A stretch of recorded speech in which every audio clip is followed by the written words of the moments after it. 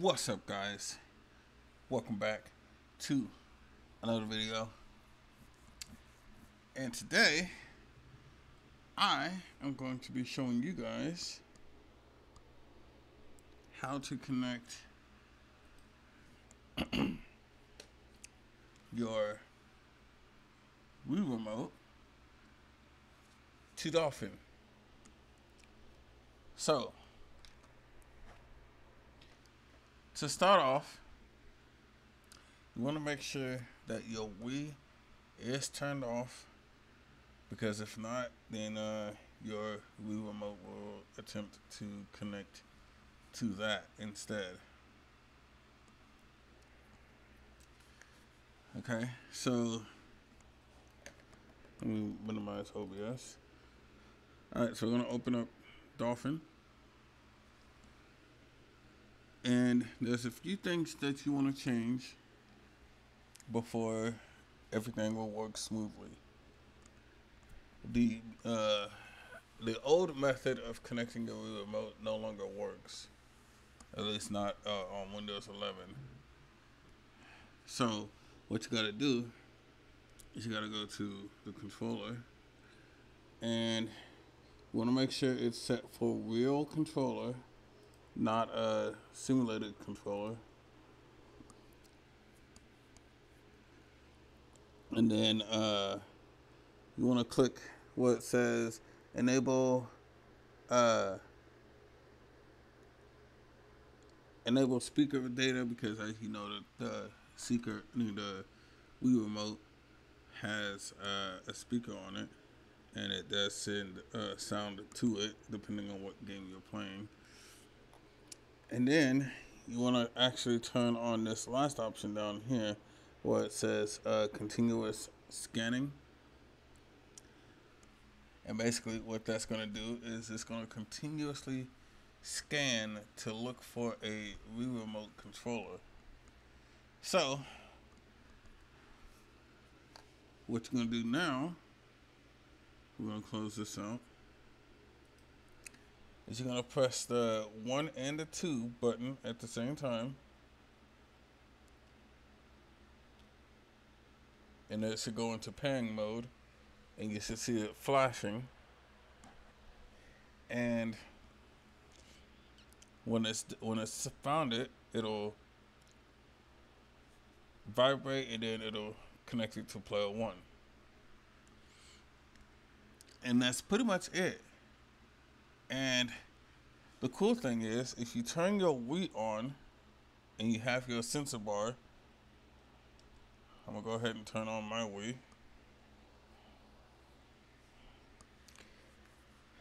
And you turn on your, uh, you, you make sure your your sensor bar is plugged in.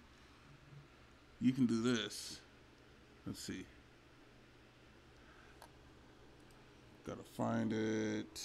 Uh. Alright, here we go.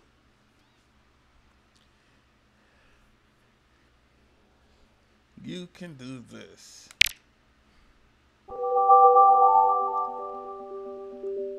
TV is a bit loud, so I do apologize for that. And you can actually use the sensor bar even though it's not connected to your computer. You can actually use the sensor bar to move cursor around. You can go you can go into your settings just fine.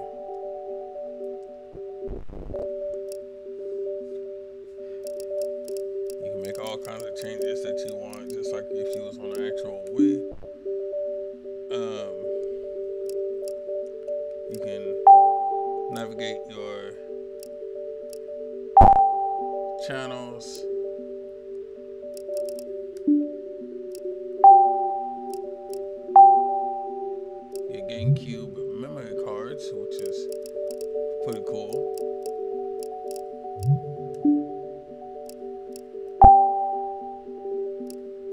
and then you save data for your uh, for your games, for your Wii games.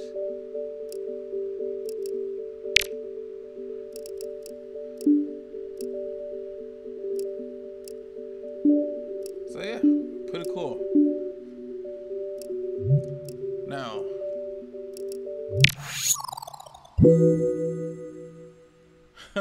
haven't seen that screen in a while. Now, let's see. Um,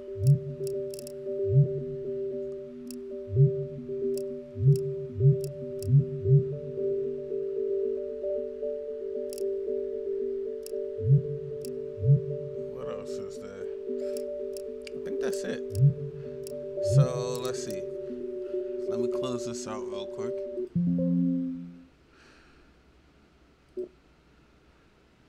and we will go to Mario Sonic at the Olympic, uh, at the London 2020 Olympic Games, I think. 20, no, not 2020. I forget what year it is.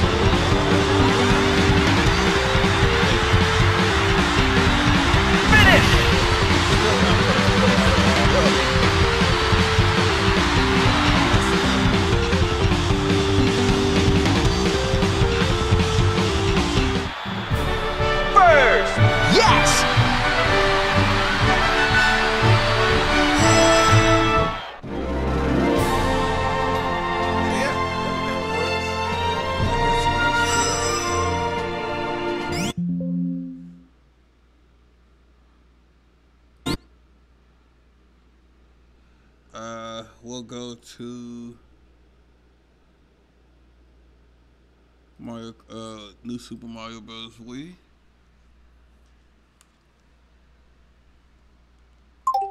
And this one you gotta use the controller sideways like this.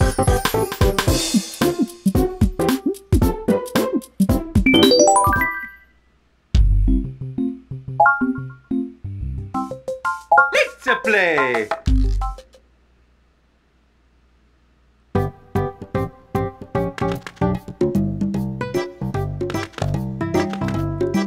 Let's go.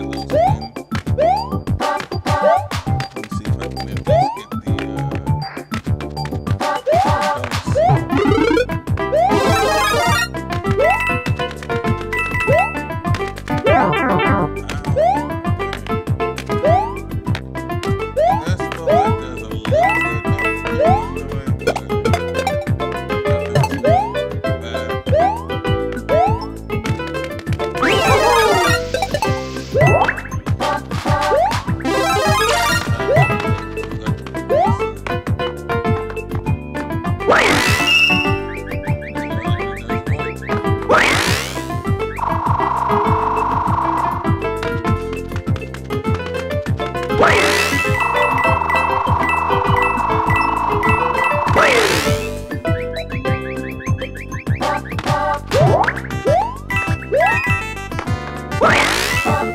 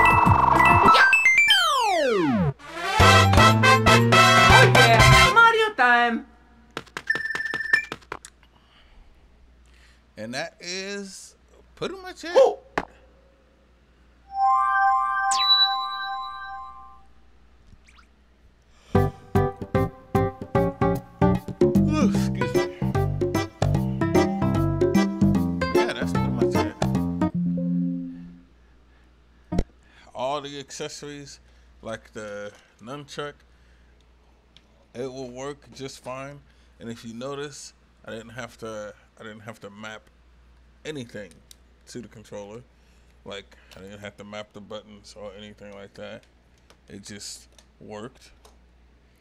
Now, when you are done playing, because I'm not sure if it actually will turn off after a while, uh, what I recommend you do is to um, uh, just kind of just take out the battery for a second, let it turn off, and then you can stick it back in, just like that. And now the controller is turned off. So, yeah, that's pretty much it. And you don't even need a dolphin bar. Although it is useful to have, especially if you don't have a Wii, but you have a Wii uh, controller for whatever reason. but um, yeah, uh, hopefully this helped you out. If it did, smash that like button, subscribe if you haven't already, and hit that little bell so you never miss another tutorial. And I will see you guys in the next one. Bye.